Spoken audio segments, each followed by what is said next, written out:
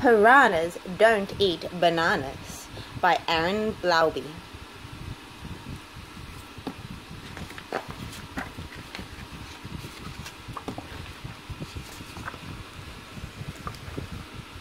Hey there guys, would you like a banana? What's wrong with you, Brian? You're a piranha. Well, how about some silver beet? Are you serious, Brian? We eat feet, like little feet, like your little feet.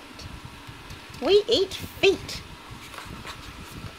Or would you rather a bowl of peas? Stop it, Brian. We eat knees, like these knees. These knees get eaten by piranhas. Well, I bet you'd like some juicy plums. That's it, Brian. We eat bums, like your little bum. We don't eat apples, we don't eat beans, we don't eat veggies, we don't eat greens, we don't eat melons, we don't eat bananas. And the reason is simple, mate. We are piranhas. Well, I think that's silly, guys. Fruit is the best. We can't take much more of this. Give it a rest. Okay then, I'll stop. You'll hear no more chatter.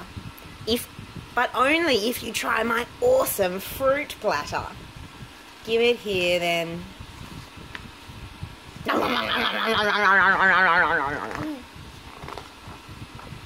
So, what do you think guys? Is it yucky or yum? It's very nice, Brian.